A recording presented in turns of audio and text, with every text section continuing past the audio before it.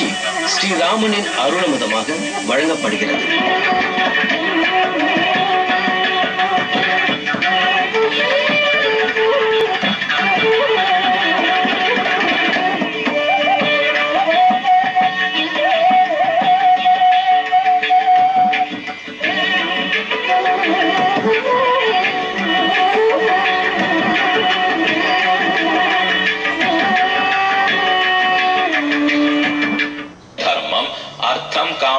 காமம் அதுல முதல் படி பார்ப்போம் இப்போ. யாரெல்லாம் எங்கிட்ட வர்றதில்லை?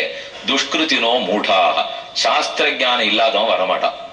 நராதமர்கள் மனிதர்களுள் அதமர்கள் வருவதில்லை. நமாம் துஷ்கிருத்தினோ மூடாக பிரபத்தியந்தே நராதமாக மாயையா அபகிருத ஞானாக தங்க உள்ளத்தை யார் இந்த மாயையான பேச்சுக்கு விட்டுட்டாலோ அவர்களும் வரமாட்டா ஆசுரம் பாவமாசிரிதாக. அசுரத்தன்மை இருக்கிறவனு கண்ணா சரணம்னு வரமாட்டான். இரண்டகசி வரப்படுறா சிசுபாலன் வரப்போறாரா? அப்ப அசுரர்கள் எல்லாம் வரமாட்டார்கள். நாலு பேர் வரமாட்டான்னுட்டார் இதைத்தான் கண்ணன் முதல்ல சொன்னார். யார் நாலு பேர் வருவான்னு முதல்ல சொல்லலாம் இல்லையா? வராத நாலு பேரை பத்தி சொன்னார். அர்ஜுனனுக்கு ஆவல். வர்றவாள சொல்லேங்கண்ணா. வராதவா தான் தெரியுது எனக்கு இப்போ. வருவது யார்? அடுத்து அவளை பத்தி சொல்றார். சதுர்விதா பஜந்தே மாம் ஜனா சுகிருத்தினோ அர்ஜுன. ஆர்த்தோ ஜிக்யாசுர் அர்த்தார்த்தி ஞானீச்ச பரதர்ஷப. நாலு பேர் வர அர்ஜுனா. ஒத்தத்தனு என்ன உதாரம் தெரியுமா? உதாரா சர்வ ஏவைத்தே ஞானி துவாத்மைவ மேமதம். அந்த நாலு பேர் ஆறுன்னு கேட்டால் இவருக்கு ஆர்த்தன்னு பேரு. அவருக்கு அர்த்தார்த்தின்னு பேரு. இவருக்கு ஜிக்யாசுன்னு பேரு. இவருக்கு ஞானின்னு பேர். நாலு ஓட்டி சொல்றார். இவரொத்தர் இவரொத்தர் இவரொத்தர் இவரொத்தர். இதுல இவா ரெண்டு பேர் ஒரு கட்சி. அடுத்தவர் ஒரு கட்சி. அடுத்தவர் ஒரு கட்சி. ரெண்டு பேர் கூட்டணி வச்சுக்கிறாள். அதை போல இந்த ரெண்டு பேரும் ஒரே கட்சி. ஆனா அதுக்குள்ளேயே ரெண்டு. அது எப்ப வம்பூருன்னு அப்புறம் தான் தெரியும். இவா ரெண்டு பேரும் ஒண்ணுதான் ஆனா ரெண்டு பேரும் அதுக்கப்புறம் மூணாவது ஒத்தர் அதுக்கப்புறம் நாலாவது ஒத்தர் இந்த முதல் வர்க்கத்துக்கு ஐஸ்வர்யார்த்தின்னு பேர். ரெண்டாவது வகைக்கு கைவல்யார்த்தின்னு பேர். மூணாவது வகைக்கு பகவல்லாபார்த்தின்னு பெயர் ஐஸ்வர்யார்த்தி கைவல்யார்த்தி பகவல்லாபார்த்தி. ஏன் இந்த பேர் வந்ததுனால் ஐஸ்வர்யம் சிற்றின்பத்தில் விருப்பம். கண்ணால் பார்க்கறது பார்க்கிறது காதால் கேட்கறது மூக்கால் முகர்றது நாக்கால் சுவைக்கிறது கையால் தொடறது இதெல்லாம் புலன்கள் இன்பம் இல்லையோ அப்ப யாரெல்லாம் இந்திரிய இன்பம் சாப்பாடு தூக்கம் அது இது இத போல இன்பத்துக்கு ஆசைப்பட்டிருக்கானோ இதெல்லாம் சிற்றின் பாஷை. இதைத்தான் ஐஸ்வர்ய அனுபவம்னு சொல்லுவார். நம்ம எல்லாரும் இந்த வர்க்கம் தான் இந்த விருப்பத்தோட நமக்கு முடிஞ்சது இதுக்கு மேல எல்லாம் ஒண்ணும் பெருசா யோசிக்கிறது கூட நமக்கு புத்தியும் போகாது. அவ்வளவுதான் நமக்கு தெரியவும் தெரியாதுன்னு வச்சுக்கணும். அப்ப நாம எல்லாம் ஐஸ்வர்யார்த்தி. இதுக்கப்புறம் ஒருத்தர் இருக்கார். பிறவியே கூடாது சுவாமி. கர்மங்களே கூடாது. சுக துக்கங்களே கூடாது. உறவே கிடையாது. உடலே கிடையாது. அப்புறம் என்ன? உறவு சரீரமே கூடாது. கர்மங்கள் எல்லாம் தொலைச்சிட்டு அந்த நிஷ்கிருஷ்ட ஆத்மஸ்வரூபம். ஞானமே உருவாக்குற ஆத்மா. ஆனந்தமே உருவாக்குற ஆத்மா. அந்த ஆத்மாவை ஆத்மா தானே அனுபவிச்சுட்டு இருக்கும் மற்ற எதை பத்தி இல்லை. உடலே கிடையாது. கர்மங்களே கிடையாது. வியாதி ஜரை மற்றும் உண்டான எந்த குற்றமும் கிடையாது. ஆத்மா ஆத்மாவிலேயே சுகம் காண்பார். ஸ்வத சுகியான ஜீவாத்மா தன்னைத்தானே நினைத்து நினைத்து இன்பம் கண்டுகொண்டே இருப்பார். இவர் கைவல்யார்த்தி. இன்னைக்கு லோகத்துல இந்த வர்க்கத்துல ஆள் இல்லை. முதல் வகைக்கு ஆள் இருக்கு நம்ம எல்லாருமே. நம்ம அனைவருமே ஐஸ்வர்யார்த்தி. இப்ப இங்க இருக்கிற ஆறாலும் உடம்பு எல்லாத்தையும் விட்டுட்டு நம்மள நாமே தனித்து ஒரு இடத்துல ஆனந்தமா அனுபவிச்சுக்கணும்னு நினைக்கிறோமா அப்படின்னா ஒரு நிலையே நமக்கு தெரியாது. அதனால அதுக்கு இப்ப ஆளே இல்லை. இதுக்கப்புறம் மூணாவது ஒருத்தர் இருக்கார். சரீரத்தை திறந்துடணும். அப்பவும் ஜென்மம் கூடாது மூப்பு கூடாது. வைகுந்தத்தை அடைந்து பெருமாளோட சேர்ந்து அவரை அனுபவிச்சு இன்பம் காண வேண்டும். இவனுக்கு தான் பகவல்லாபார்த்தின்னு பேர். அப்ப ஐஸ்வர்யார்த்தி கைவல்யார்த்தி அவன் தான் ஆத்மானுபவ காமன் அதுக்கு மேல பகவல்லாபார்த்தி இப்ப ரெண்டு வகை தான் இருக்கா. ஒன்னும் பக்தர்கள் மோட்சம் ஒண்ணுன்னு ஆசைப்படுறவா. இன்னொன்னு இந்த லோகத்துல இருந்து திருப்தியா இருக்கணும்னு நினைக்கிறோம் ரெண்டு தான் இருக்கு. இப்ப நடு வகை கைவல்யார்த்தின்னு ஒரு வகை இப்ப நாம பார்க்கவே முடியாது. அப்ப ஐஸ்வர்யார்த்தி கைவல்யார்த்தி பகவல்லாபார்த்தி அர்த்தி அர்த்தினா வேண்டவன் அர்த்தம். ஐஸ்வர்யத்தை வேண்டுபவன் ஐஸ்வர்யார்த்தி. கைவல்யம்ங்கிற தனி சுகத்தை வேண்டுபவன் கைவல்யார்த்தி. மோட்ச இன்பத்தை வேண்டுபவன் மோக்ஷார்த்தி. அவனைத்தான் முமுக்ஷு முமுக்ஷுன்னு சொல்றோம்.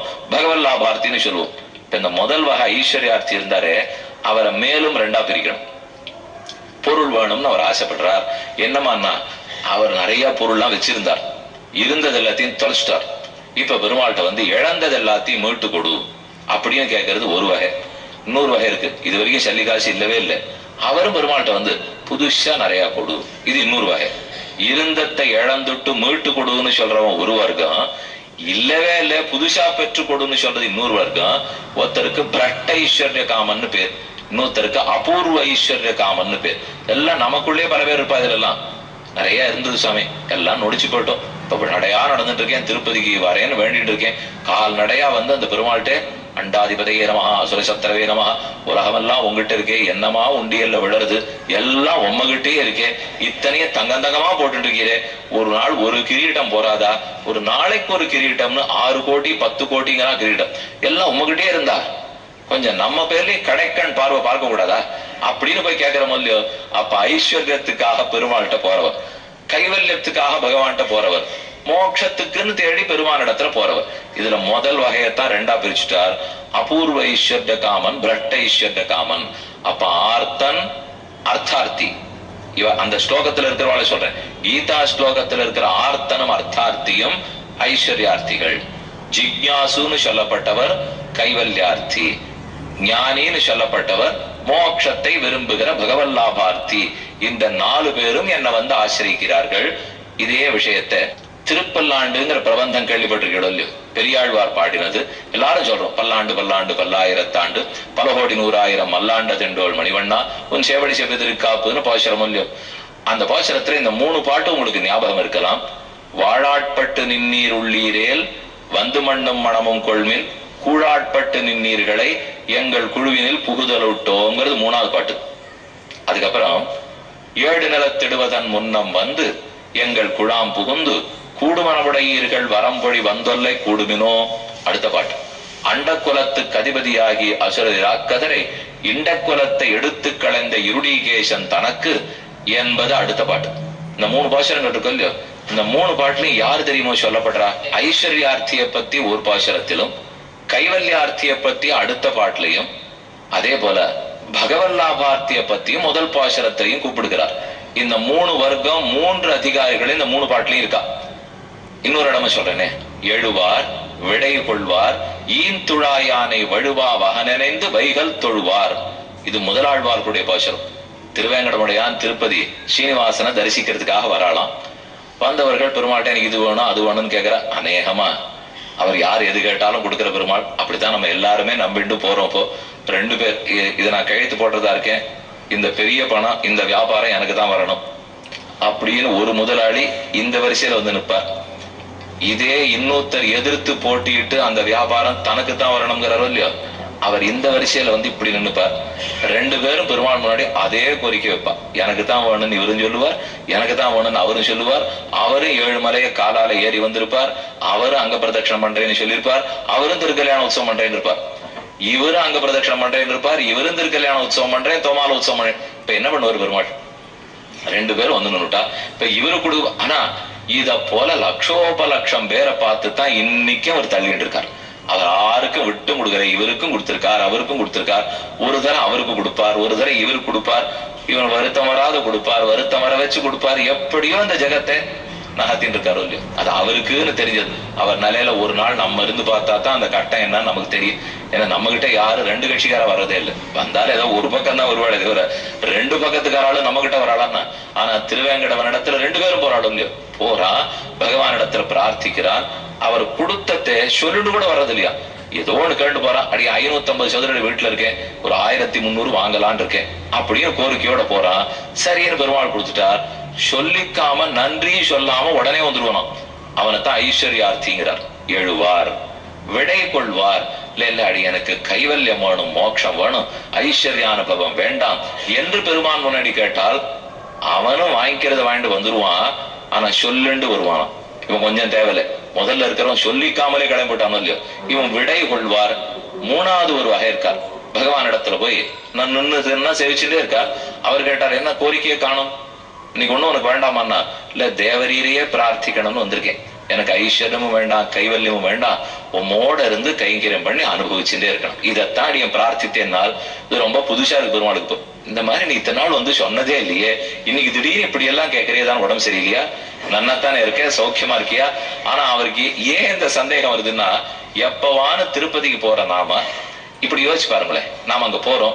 நம்மள ரொம்ப பெருமாளுக்கு பிடிச்சு போச்சு. பிடிச்சு போச்சுன்னு நம்ம பிடிக்கும்னு நம்புவோமே. இப்போ நம்ம எல்லாம் என்ன நம்பிக்கையில போறோம்? என்ன பெருமானுக்கு ரொம்ப பிடிக்குங்கிற நம்பிக்கையில தானே போறோம். என்ன பார்த்தாலே ஒரு முகத்தை திருப்பிட போறாரு நினைச்சு இங்கே திருப்பதிக்கு போறோம். அப்படின்னா போகவே மாட்டோமே. அந்த விருப்பத்தோட தான் போறோம். அதே அந்த விருப்பத்தை கொஞ்சம் நல்லா கற்பனை பண்ணுங்க. என்ன அவருக்கு ரொம்ப பிடிச்சிருந்து நீ இங்கேயே இருந்து நித்தியம் எனக்கு கைங்கிற மணின்றேன் அப்படின்னு ஒருவேளை அவர் சொல்லிட்டாருனால் திரும்பி வருவோமா மாட்டோமா? இப்ப இருக்கணும் இல்லையோ? ஏன்னா அவர் சொல்லலாமே. ஆனா அது சொல்லவே மாட்டாருங்கிற நம்பிக்கையில தான் போக வர பயணச்சீட்டு வாங்கிட்டு போறோம். எப்ப திரும்பி வரத்துக்கு சீட்டு வாங்குறோமோ அப்ப கண்டிப்பா நம்புறோமோ இல்லையோ. இவருக்கு என்ன அப்படியெல்லாம் பிடிக்க போறது இல்ல இருலாம் சொல்லவே மாட்டா. போன உடனே அதே அரை நிமிஷத்துல ஜரகண்டியில வந்துருவோமே. சொல்லிட்டு வந்துருவோம் நினைச்சிருந்தானே போறோம். உண்மையா ஒரு பக்தனா இருந்தா என்ன தெரியுமா பண்ணுவான் ஒரு வழி பாதைக்கு மட்டும் பயணிச்சிட்டு வாங்கினுட்டு ஒருவேளை பெருமாள் இருக்க சொல்லிட்டான்னு இருக்கணுமே. என்று ஒரு நிமிஷம் கலங்கி போய் நிக்கிறான் பாருங்க. நின்னா அவன் நம்பிக்கையோட போறான்னு அர்த்தம். என்ன நான் போறேன். பெருமானுக்கு என்ன பிடிச்சிட போறது. நீ இங்க இருந்து நித்தியம் என் திருவடிகளை பிடிச்சு விட்டுன்று அப்படின்னு ஒரு வார்த்தை சொல்லிட்டானா நான் திரும்பி வர முடியாது சாமி. என்னவா இருந்தாலும் அங்கதான் இருப்பேங்கிறானோ இல்லையோ அவனைத்தான் பகவல் லாபார்த்திங்கிறான் அப்ப ஐஸ்வர்யார்த்தி கைவல்யார்த்தி பகவல் லாபார்த்தி எழுவார் விடை பொழ்வார் ஈன் துழாயானை வழுவா வகனெனைந்து வைகள் தொழுவார். வினைச்சுடரை நந்துவிக்கும் வெங்கடமே வானோர் மனச்சுடரை தூண்டும் மலையின் ஆழ்வாருடைய போஷம். நம்முடைய பாபங்கள் அத்தனையை தொலைத்து நம் மனசில் பரமபக்தியை நன்கு தூண்டிவிடக்கூடிய மலை திருவேங்கட மலை ஏழு மலை. அந்த மலைக்கு போறோம்னாலே இந்த மூணையும் பிரார்த்தனை வச்சுன்னு போலாம் இல்லையோ ஐஸ்வர்யார்த்தியும் போறார் கைவல்யார்த்தியும் போலாம் பகவல்லாபார்த்தியும் போலாம். ஆனா நாம எப்படியா போக போறோங்கிறதா இப்ப கேள்வி. இப்ப நாலு வகை மனுஷால பார்த்துட்டோம். நாலு பேரும் என்கிட்ட வர அர்ஜுனா. ஆர்த்தன் அர்த்தார்த்தி ஜிக்ஞாசு ஞானி. இது நாலு வகை ஒரு வகை. இந்த நாலு வகைப்பட்டவாளா எப்படி ஒருத்தர் ஆறாருன்னு பார்ப்போம். தத்துவங்கள் மூணுன்னு பார்த்தோம் இல்லையோ அச்சித்து சித்து ஈஸ்வரம் இதுல அச்சித்து தான் தத்துவம்னு நாம புரிஞ்சுட்டால் அப்ப என்னவாகும்? சித்து தான் சிறந்த தத்துவம்னு புரிஞ்சுட்டா அப்ப எதை ஆசைப்படுவோம்? ஈஸ்வரன் தான் சிறந்த தத்துவம்னு புரிஞ்சுட்டா அப்ப எதை ஆசைப்படுவோம்? மூணுத்துக்குள்ளதான் இருக்கணும். இதை புரிஞ்சுக்கலாம் இதை புரிஞ்சுக்கலாம் இதை புரிஞ்சுக்கலாம்.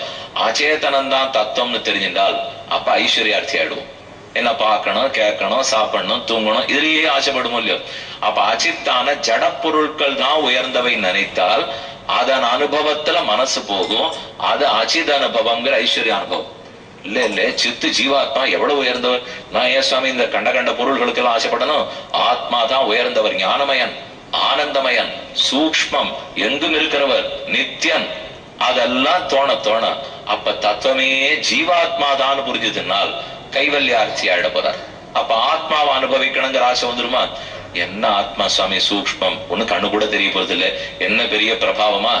அவர் இருக்காரே நாராயணனுக்கு என்ன பிரபாவம்? ராமனா பிறக்கரிச்சு என்னெல்லாம் பண்ணார்? கண்ணனா பிறக்கரிச்சு என்ன பண்ணார்? திருவிக்ரமாவதாரம் வாமனாவதாரம் கிருஷ்ணாவதாரம் ஓஹோன்னு இருக்கே. அப்போ அவர்தான் தத்துவம். அவர்தான் இருக்கிறதுலே சிறந்த தத்துவம். அப்ப அவரோட சேர்ந்து அனுபவிக்க வேணுங்கிற அதுல ஆசை வருது. அப்ப தத்துவம் எதுன்னு நான் புரிஞ்சுக்கிறேனோ அந்த தத்துவத்தை அனுபவிக்கிறது ஆசை போறது அப்ப தத்துவம் அச்சித்துன்னு புரிஞ்சின்றால் ஐஸ்வர்யார்த்தி. தத்துவம் சிறந்தது ஆத்மா சித்துன்னு தெரிஞ்சின்றா கைவல்யார்த்தி. தத்துவத்துல ஈஸ்வரன் உயர்ந்தவன் புரிஞ்சின்றால் பகவல் லாபார்த்தி என்னதான் நம்ம நிலையே முடிவு பண்ணப்படுறது. இந்நிகழ்ச்சி ஸ்ரீராமனின் அருளமுதமாக வழங்கப்பட்டது.